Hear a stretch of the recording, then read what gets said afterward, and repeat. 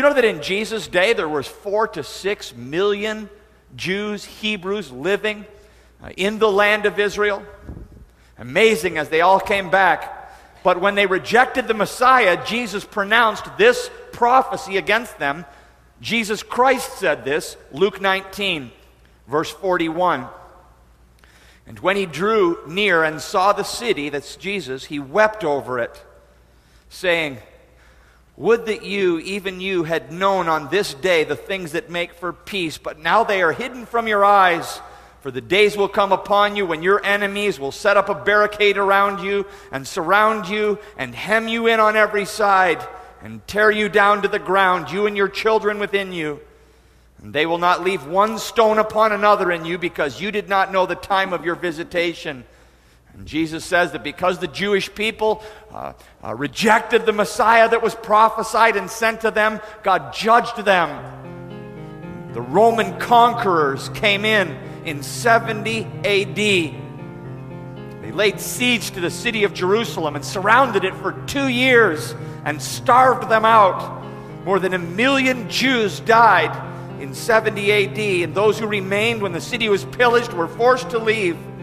The emperor was Hadrian, and he was so engorged with hatred for the Jewish people that he actually pronounced that any Jewish person found within the city limits of Jerusalem would suffer the death penalty.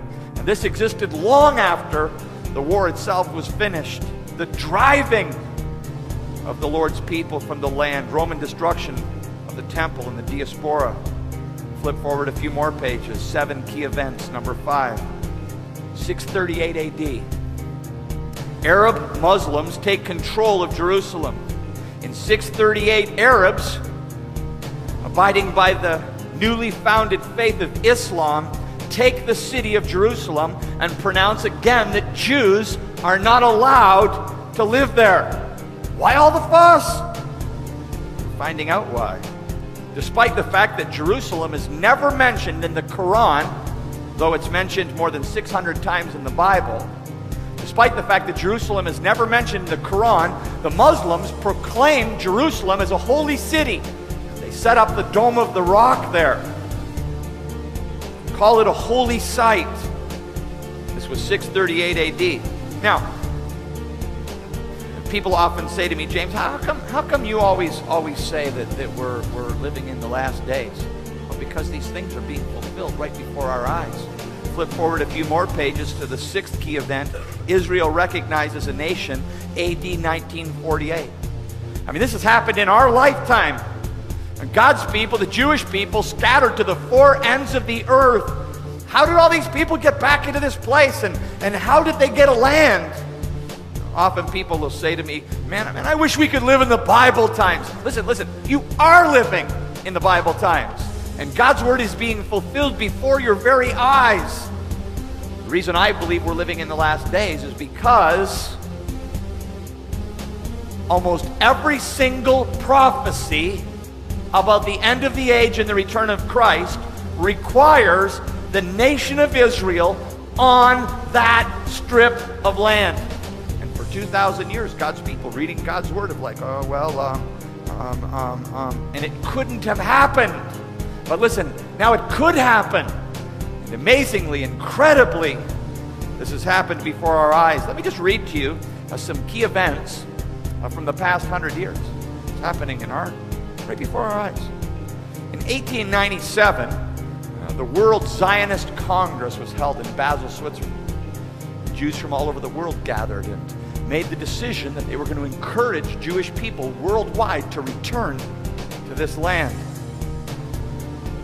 not at all like the land of today. In fact, Mark Twain visited Israel and had uh, the Israeli land and had only negative to say about this desert, this wilderness.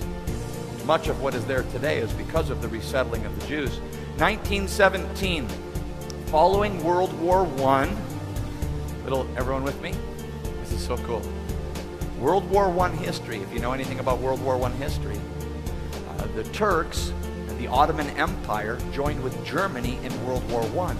When World War I was lost, uh, the League of Nations gathered and they divided up those lands France was given some portions of the Middle East, and Britain was given modern day Israel and what is now modern day Jordan, and it was called the Mandate. They were asked as part of the mandate to support the rebirth of the nation of Israel. So in 1917, Britain promises the formation of an independent Jewish state. At that time, there were only 80,000 Jews living uh, in the region. 1945, after the Holocaust, Jewish people begin to flood into fleeing anti Semitism in Europe, they begin to flood into the promised land by the hundreds of thousands. In 1948, the United Nations recognizes Israel as a nation. A day later, one day later, five Arab nations Jordan, Egypt, Lebanon, Syria, and Iraq all attack Israel. But the Israeli army, what Israeli army? You've only been a nation for one day. The Israeli army successfully repels all of them. Did that happen? You read through the Old Testament. Man, I'd love to see that Gideon thing happen. It happened right there. Amazing. 1964, the Palestinian Liberation Organization is formed by the Arab nations to lend support to and to control the Arabs living in the region. Now, here's the seventh key event 1967, the Six Day War.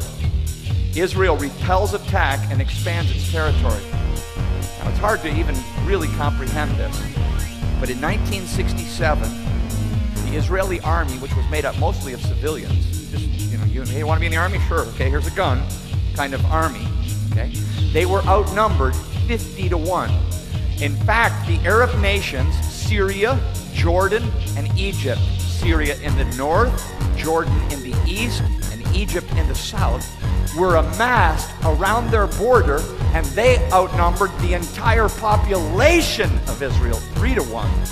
And in terms of armed forces, they outnumbered the Israelis 50 to 1. And yet, in six days, not only was the uh, war completely won, but from Syria in the north, the Golan Heights was taken. From uh, Jordan in the east, the West Bank was taken. And from Egypt in the south, the Gaza Strip was taken. Incredible.